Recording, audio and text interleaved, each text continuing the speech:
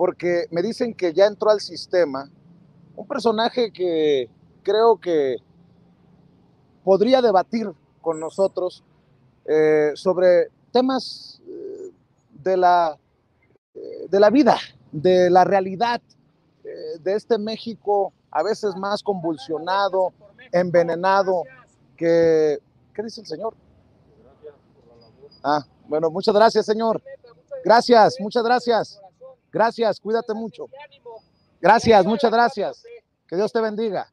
Aquí estamos eh, transmitiendo desde la calle y se para un señor en su, en su golf a decirnos gracias por lo que hacemos. Seguramente no es del grupo del personaje que intentaba presentar a continuación, porque yo veo más a Mario Ponce, conocido en redes sociales como Marieto Ponce, como parte de estos que dicen todos somos Loret que por cierto se ha, se ha diluido.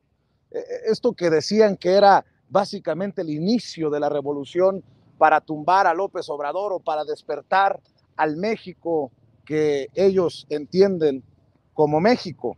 Eh, Marieto Ponce se identifica en redes sociales como padre constructor y viejo lesbiano. Y le agradezco que venga a hablar sin censura, eh, sin eh, sin temas definidos, al menos eso es lo que le propuse, un, debate abierto, respetuoso, aunque creo que le falta mucho a él para respetar a su servidor, eh, escribiendo cosas hace rato como, por ejemplo, muchos amigos me dicen que por qué voy al programa de Vicente Serrano que no está a mi nivel. Recuerden amigos que soy arquitecto y me gusta ensuciarme las botas. Bueno, pues para que se ensucie las botas, eh, saludo a Marieto eh, Ponce, y le agradezco mucho que estén sin censura. ¿Cómo estás, Marieto? Buenas noches. Buenas noches, Vicente. La verdad que es un gusto estar aquí en vivo. Yo pensé que, que esto no se iba a dar, pero de verdad que te, te agradezco el espacio y pues vamos a darle, ¿cómo ves? Oye, Marieto, déjame para empezar, porque no conozco tu trayectoria, sé que eres cercano a personajes panistas. ¿Tú eres panista, priista, perredista, eh, emesista? ¿Qué eres? Mira, te, comento, eh, cuando era muy joven eh, y estaban las elecciones justamente del 88 y, y, Manuel Cloutier fue candidato, yo me puse la camiseta del PAN. Recuerdo en la preparatoria haber hecho campaña por él lo conocí personalmente, me parecía un gran personaje.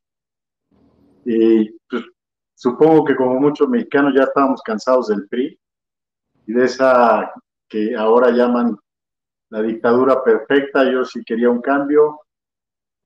Este, y me parecía que esa era la, solución. Después, eh, digo, jamás pertenecí al partido, jamás me he afiliado ni a ese ni a ningún otro partido. Pero después, en, las elecciones del, del, 2004, yo eh, apoyé al, el, proyecto del PRD porque me parecía que era una izquierda eh, progresista, me parecía que era la forma en la que íbamos a poder garantizar derechos, justamente como lo comentaban ustedes en su sección anterior de las minorías. Yo creo en, el matrimonio de personas del mismo sexo, creo también en la adopción de las parejas homoparentales, creo por supuesto en los derechos en general de las minorías. Eh, soy eh, apoyador de, los movimientos feministas, pero también creo en las libertades en general, en todas las libertades, en el derecho a la expresión, en el derecho al libre mercado. Este, y creo que mientras un país es más liberal, tiene mejores niveles de vida y eso lo podemos ver, son datos que pues ahí están y son incontrovertibles. Aún así, yo no me considero un libertario, yo sí creo en la participación del Estado en el desarrollo de los países. Creo que la educación debe de ser pública y gratuita, creo que la salud igual, este, y por supuesto la seguridad, creo también en los programas sociales como el, eh, esos programas de apoyo a adultos mayores.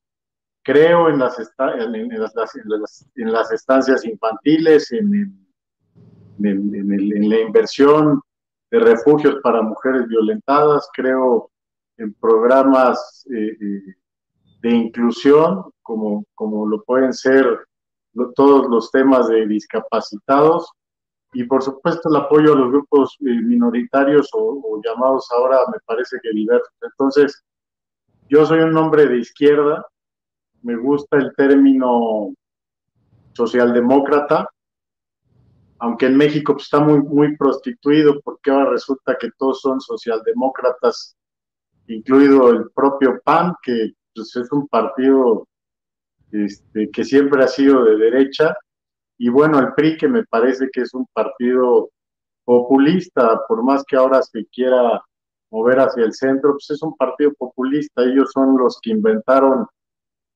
no los programas sociales, sino los programas asistencialistas.